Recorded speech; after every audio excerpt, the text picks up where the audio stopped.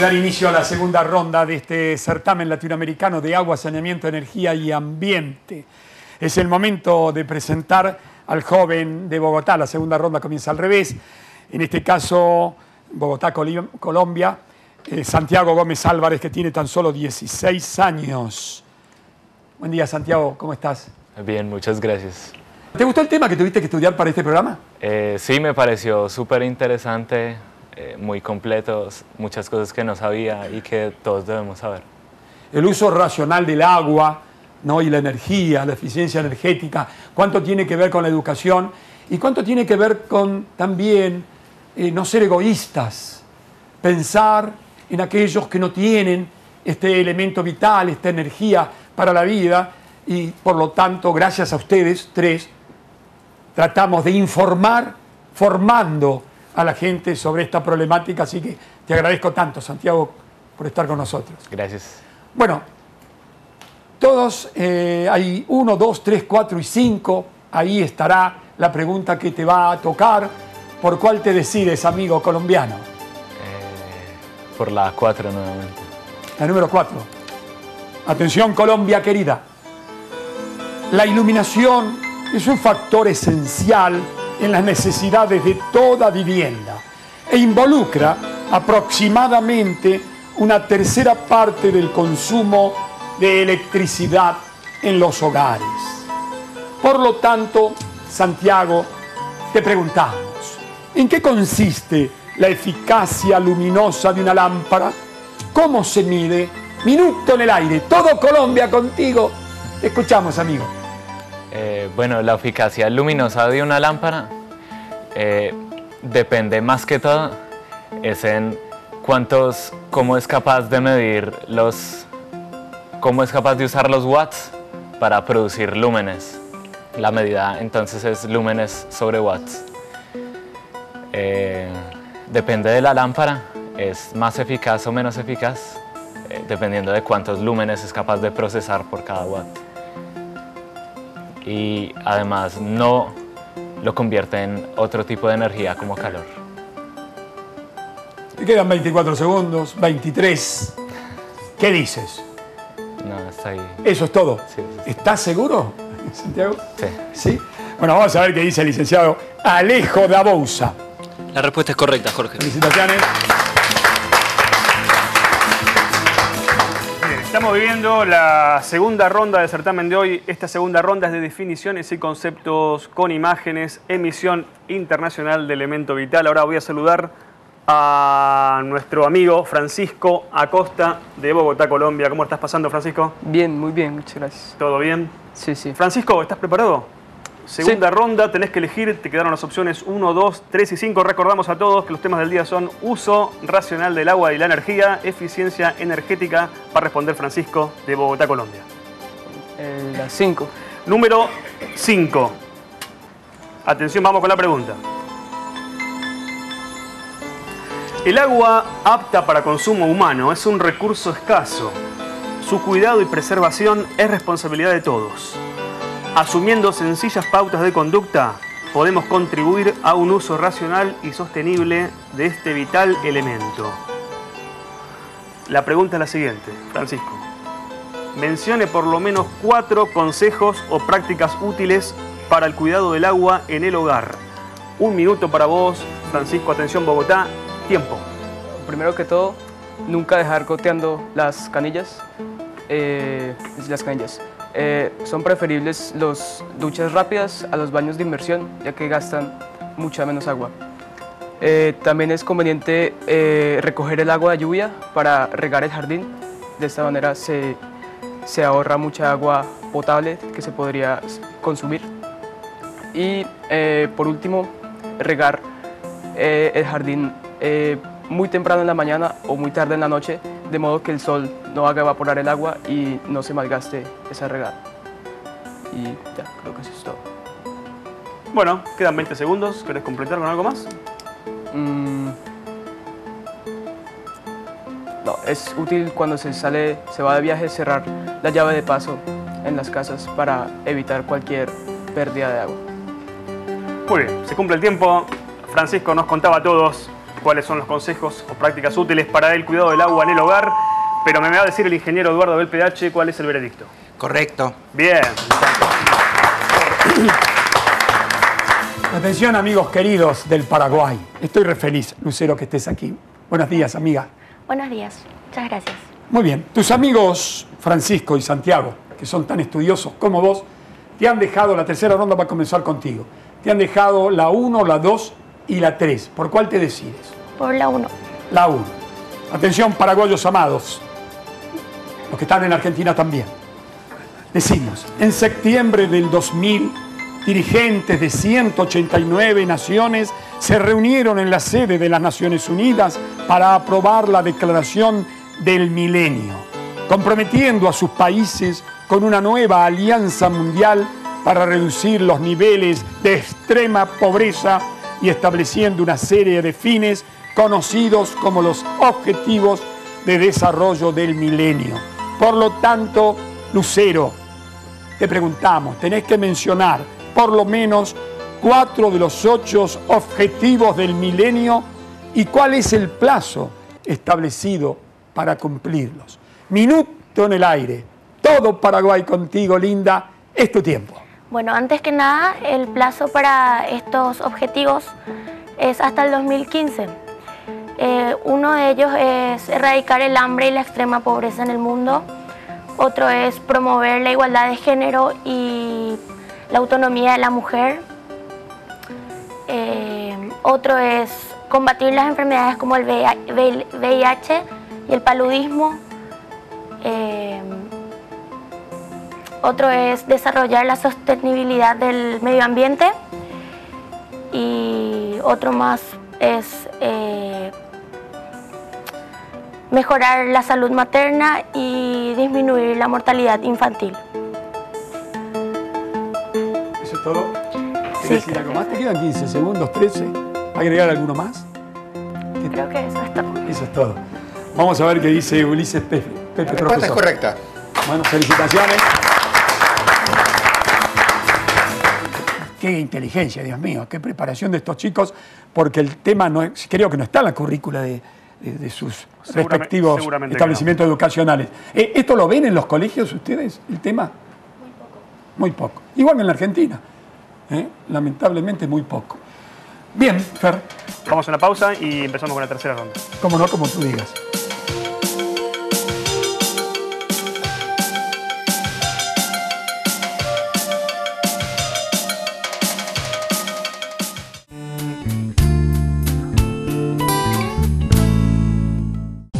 Desde hace 10 años brindamos servicio de agua potable y saneamiento en más de 90 localidades de la provincia. APSA, valoramos lo esencial. Otoyo, un ambiente acogedor y una cordial atención lo invitan a disfrutar de la mejor comida española. Un restaurante para ir y volver. Apart Hotel y Spa Congreso. 71 amplios departamentos totalmente equipados esperan al visitante para que se sienta como en su casa. Conozca su distinguido servicio de spa y todas sus propuestas. www.apartcongreso.com.ar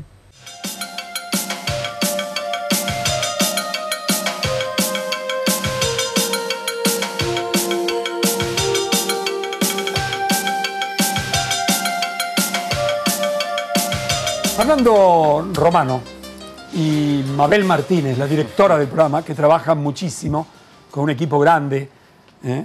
en la producción, el lunes 17 a las 11 de la mañana van a recibir un premio que le ha sido otorgado por el Ministerio de Educación y por la Universidad de Buenos Aires a nuestro programa. Medalla y diploma que vos, Fernando, y la directora Mabel Martínez traerán para, bueno, los estímulos son importantes, así que mi agradecimiento, nuestro agradecimiento a la Universidad de Buenos Aires. Así es, bueno, va a ser un- una, una emoción, una alegría grande para mí en particular y en nombre de todo el equipo de producción de Elemento Vital recibir esa distinción de la Universidad de Buenos Aires. Y aprovecho la oportunidad también para agradecer, eh, oralmente nos han informado, ya tendremos la comunicación escrita de la UNESCO que ha declarado el programa de interés mundial, lo mismo también al Senado de la Nación, eh, un proyecto que han presentado, se han presentado para declarar al programa de interés general. Así que Elemento Vital crece, gracias a Dios, con la ayuda de todos los sectores de la comunidad. Fernando. Certamen argentino y ahora latinoamericano de agua, saneamiento y ambiente. Hoy con dos jóvenes de Colombia y una joven de Paraguay. Los temas del día, uso racional del agua y la energía, eficiencia energética. Este programa se puede volver a ver, como dijimos antes, en www.elementovital.com.ar en cualquier lugar del mundo. Tercera ronda entonces de Multiple Choice, opciones múltiples. Lucero Magalín Núñez Rodríguez de Asunción del Paraguay. ¿Cómo la estás pasando? Bien, todo tranquilo. ¿Cómo es tu vida en Asunción? ¿Amigos? ¿Deporte? Ajetreada, tengo muchos amigos. eh, soy músico, tengo clases de música en colegios y este año terminé el colegio, pero un poco de actividades. ¿Qué instrumentos tocas? El saxofón. Ah, qué bien. Qué lástima que no lo has, no lo has traído. Claro, Para darnos un- una pequeña exhibición acá. Hubiera sido muy lindo. Sí, la verdad Bueno, sí. no falta la oportunidad para eso. Lucero, ¿estás preparada? Sí. ¿Eh? Tercera ronda entonces, múltiple choice. Atención, son tres opciones y vos tenés que elegir ahora la lámpara de bajo consumo que más te guste. Uno, dos, tres, cuatro y cinco. El número 3. Número 3, muy bien. Atención entonces, Asunción del Paraguay. Pregunta. Según datos de 2008, ¿qué cantidad aproximada de personas en todo el mundo carecen de una instalación adecuada de saneamiento? Opción A, 2.600 millones de personas. Opción B, 2.000 millones de personas. O 1.100 millones de personas. Un minuto para responder. Lucero, tiempo. Creo que es la opción B. La opción B, 2.000 millones de personas. Bien, se ha jugado Lucero que viene, que nos visita, nada menos que de la República Hermana del Paraguay. A ver, ¿qué me dice el ingeniero No, Pérez? la respuesta desgraciadamente no es correcta. Era la opción A, 2.600 millones de habitantes. 2.600 millones de personas Carecen. carecen de una instalación adecuada de saneamiento, ¿no? Según datos del 2008. Claro, y se da algo paradójico porque eso, esa carencia de, de saneamiento, genera que se gaste mucho en enfermedades, unos 1.700 millones de dólares, ¿no? O sea que muchas veces es casi lo, que se debería gastar en hacer infraestructura. Es un problema que Claro. es más que todo de, de, de programación, ¿no es cierto? De los países que tomen conciencia, los que tienen poder de decisión y, y ir en el saneamiento, ¿no? Que lo vieran Acá- así los gobiernos como, como un- que tuvieran una estrategia más global y más eh, Sí, sí. un panorama más amplio, ¿no? Acá nosotros estamos avanzando mucho, por, por suerte, eh, en ese saneamiento del Gran Buenos Aires, que había mucha carencia, se está avanzando mucho con plantas de tratamiento, redes, estamos bien en ese sentido, ¿no? Pero en general es un problema mundial eso, ¿no? Así como muchos estados se están dando cuenta de que hay que hacer campaña contra el cigarrillo porque eso representa un gasto en materia de salud muy grande. Exactamente Acá estamos en lo mismo. Habría, que invertir en infraestructura Es- para que todos tengan agua potable. Exactamente, tal cual. Bueno, Bien, es uno Jorge. de los motivos, Fernando, querido Pepe, por el cual hace seis años ¿eh? decidimos, además de otros programas culturales que hacemos en la televisión argentina, hacer este programa Elemento Vital, así intitulado. Porque estamos hablando, esta cifra, 2.600 millones de personas, estamos hablando que casi la mitad de la humanidad no tiene ¿eh? instalación adecuada de saneamiento, nada menos. Casi la mitad de la humanidad. ¿Cuánto tiene que hacer la dirigencia política universal en la materia?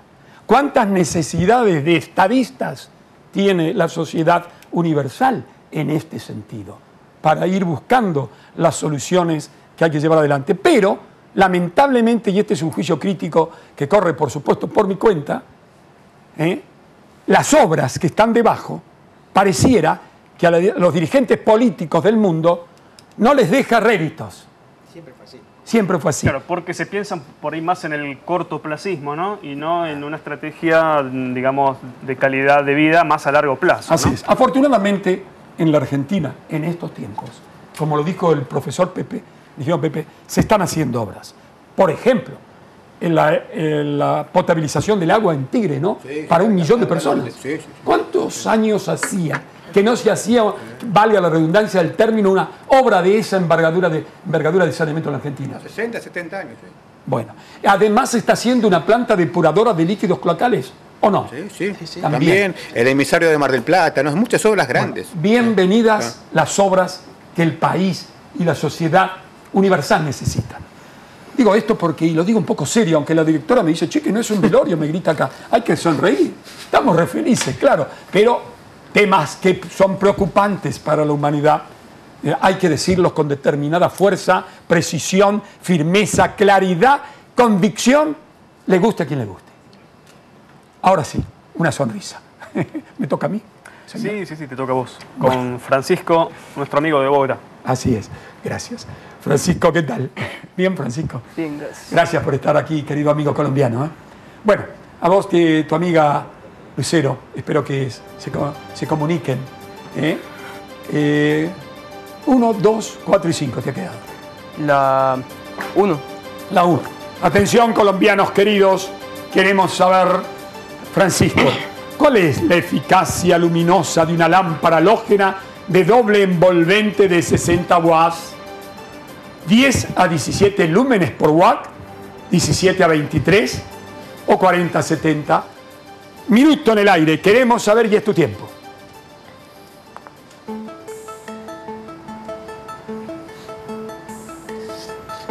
La opción B, 17 a 23 lúmenes por watt. Profesor Carmelina. Sí, la respuesta es correcta.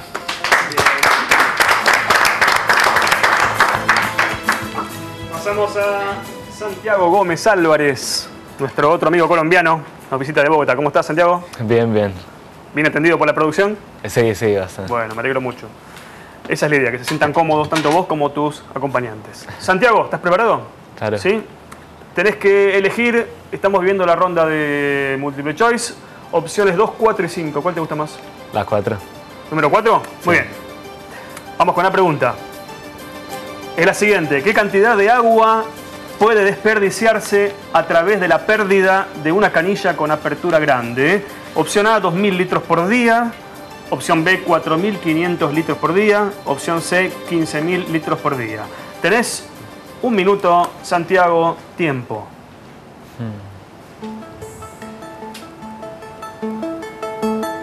Opción C.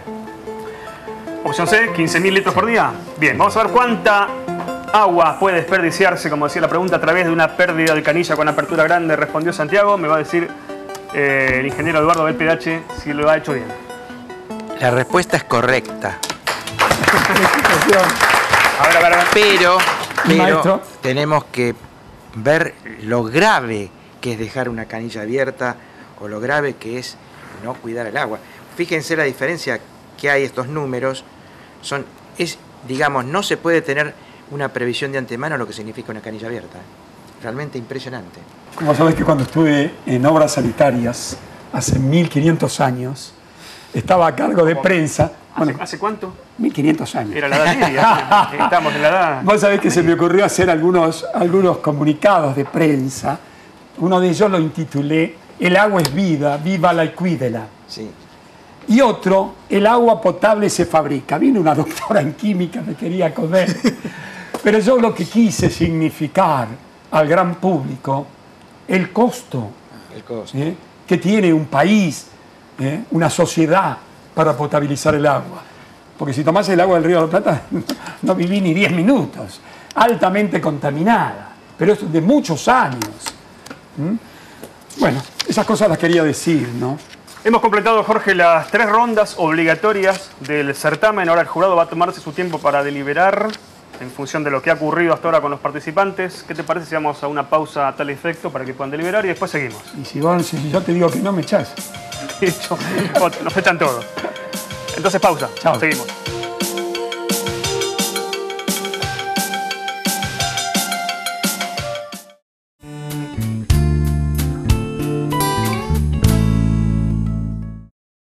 Transportel Patagónica, eficiencia, esfuerzo y avanzada tecnología para apuntalar el desarrollo energético de Argentina.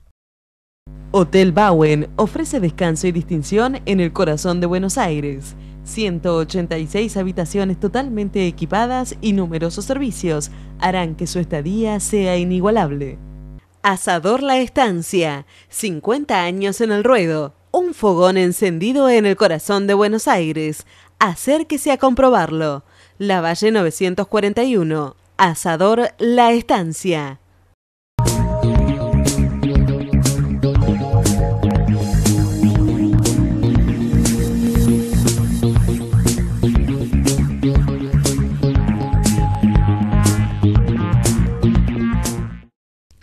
Status, la mejor comida típica del Perú en Buenos Aires. Status, Virrey Ceballos 178.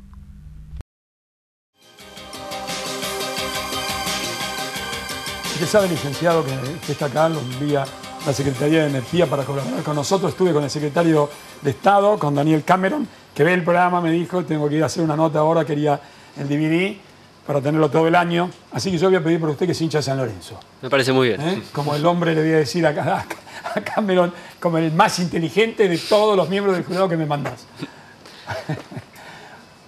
Y San Lorenzo está en el corazón, querido. No, qué bien terminamos. Por supuesto, licenciado de hincha el ciclón, como casi toda la producción de Elemento Vital. Gracias, Eh, así Matías que Lamens. le agradecemos a- al licenciado. Elemento Vital. Me hablan de San Lorenzo y se me desdibuja el mundo. Pero sin embargo sos mucho más equilibrado, medido que el compañero que tenés al lado.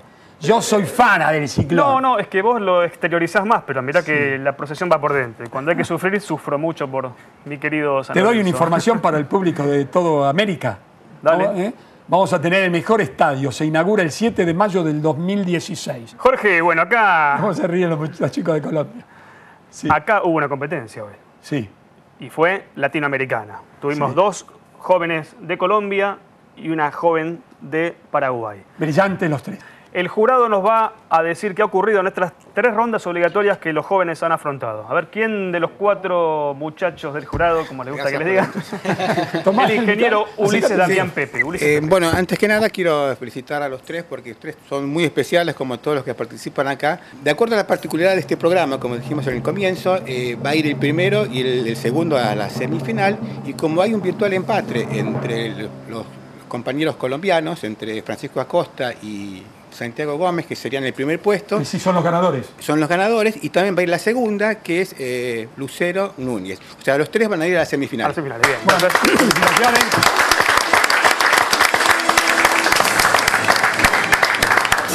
Bueno, sensacional entonces, eh, un un programa especial con tres jóvenes extranjeros y un empate entre los dos jóvenes colombianos más la chica de Paraguay que también pasa a la semifinal. Vamos a conversar con los chicos. Por Tenemos supuesto. muchísimo Bueno, tiempo. ¿eh? Lucero Magalí, gracias por haber estado acá en el Elemento Vital. Te esperamos en las semifinales. ¿A quién querés saludar? Gracias a ustedes. No, eh, agradecer por la invitación y el apoyo de mis profesores y de la empresa que nos envía. Muchas gracias. Bueno, y un día iremos, iremos- irá toda la producción a Asunción. Seremos recibidos en una ronda de tereré, ¿te parece? Claro, por supuesto. Dale. Y de paso pasemos por Asunción. Por supuesto que Sí, muchos no- acá no conocen. Francisco Acosta, eh, me había dicho fuera de cámaras que todavía no había decidido su carrera universitaria. Yo no tengo dudas que Francisco transitará el camino de la matemática, de la física, de la química, de la computación, donde teniendo tan solo 15 años te destacás, amiguito. ¿Pasará por ahí? ¿Pasarán por ahí tus estudios universitarios? Sí, eh, sí me interesa estudiar. Todo eso me parece muy interesante, pero no sé, eh, estudiarlo lo haré, ejercerlo no estoy seguro todavía. Todavía no estás seguro. ¿Querés saludar a amigos, familiares, profesores, maestros? Entonces, eh, Es tu tiempo. no, muchas gracias a todos en mi colegio, en mi familia y sí, más o menos. ¿Qué otra cosa, Francisco, además de la matemática, la física, la química, la computación, te atrae? Mm, el deporte, el deporte me gusta. Así, ¿Qué haces? Eh, baloncesto, básquetbol. Mira vos. Bueno, te esperamos para la semifinal. ¿Vas a venir? Eh, espero. Espero, claro que sí. Ya que Jorge le preguntaste a Francisco por su hobby, bueno, él dijo el deporte, eh, quiero públicamente comprometer a Lucero de Asunción del Paraguay para que traiga su instrumento musical en las Qué semifinales. bueno eso. Sí, dice la profesora. sí. ¿Puedo tomarme ese atrevimiento, Lucero? Voy a hacer lo posible. ¿Harás lo posible? ¿Lo Claro, pensarás? Por claro lo que menos. sí. Muy bien. Y prepararle una piecita para poner. ¿eh? No hay Mucho tiempo no tenemos, pero ¿eh? No va a ser un placer. Bueno, es el tiempo de Santiago Gómez Álvarez, 16 años, un joven simpático, tiene una sonrisa, ¿eh? es un hombre feliz, no hay duda. Eh, ¿A quién querés saludar, Santiago? Familiares, amigos, maestros. ¿Cómo es? La enseñanza elemental, aquí se dice enseñanza primaria.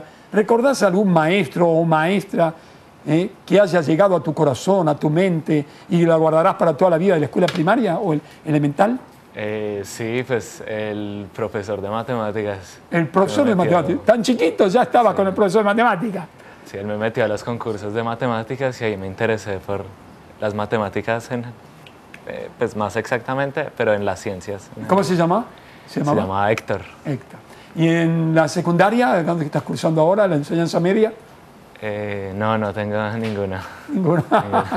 bueno, muy bien. ¿Querés saludar familiares, amigos, gente de Colombia que está mirando el programa? Sí, no, pues a mis padres y a toda mi familia. ¿Cómo se llaman tus padres? Eh, mi papá se llama Álvaro y mi mamá se llama Jacqueline. Ya que has saludado a tus padres, ¿qué son para vos tus padres? Eh, no, pues lo son, son pues gente que me inspira a salir adelante. Qué lindo es. ¿Tenés hermanos? Eh, sí, tengo un hermano. Hay que nombrarlo. ¿Es mayor o menor? Es menor. Es menor. ¿Cómo se llama? Se llama Jacobo. ¿Y están en Jacobo, tan estudioso como vos? más o menos. Más o menos. Te nos fue el tiempo. Con mucha felicidad, que tengan buen regreso, el tiempo que estén en Buenos Aires, que la pasen muy bien. Hasta la semana que viene, si Dios quiere. Chao, amigos. Gracias.